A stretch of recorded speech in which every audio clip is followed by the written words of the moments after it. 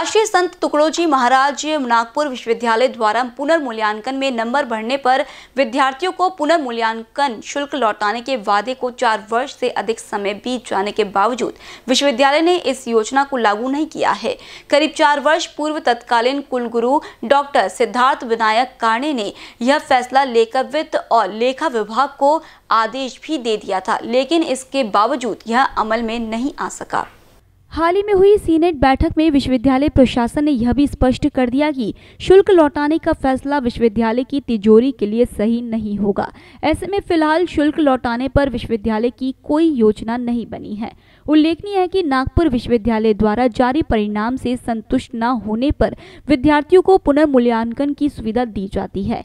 एक पेपर के लिए 160 तो दो पेपर के लिए 320 रुपए का शुल्क भरना होता है। हर परीक्षा के बाद हज़ारों की संख्या में विद्यार्थी पुनर्मूल्यांकन के लिए आवेदन भरते हैं। विश्वविद्यालय प्रशासन द्वारा एक आरटीआई के जवाब में सार्वजनिक की गई जानकारी के अनुसार वर्ष 2017-18 की ग्रीष्मकालीन और शीतकालीन परीक्षा के बाद चौरासी हज़ार विद्यार्थियों ने पुनर्मूल्यांकन के लिए आवेदन भरा था, जिससे नागपुर विश्वविद्यालय को एक करोड़ पंद्रह लाख रुपए की आय प्राप्त हुई है। इसी तरह वर्ष 2018-19 की ग्रीष्मकालीन और शीतकालीन परीक्षा के बाद एक लाख आठ हज़ार विद्यार्थियों ने पुनर्मूल्यांकन आवेदन भरा था, जिससे विश्वविद्यालय को एक करोड़ छियासठ लाख रुपए की आय हुई थी। ऐसे वर्ष 2019-20 के परीक्षा सत्र में विश्वविद्यालय को एक करोड़ पैतालीस लाख रुपए की आय हुई।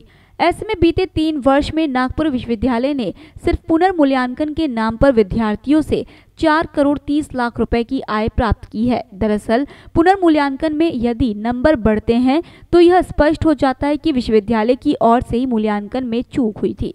इसमें विद्यार्थी की कोई गलती नहीं थी। जब गलती विश्वविद्यालय की है तो विद्यार्थी बेवजह पुनर्मूल्यांकन शुल्क क्यों भरेंगे?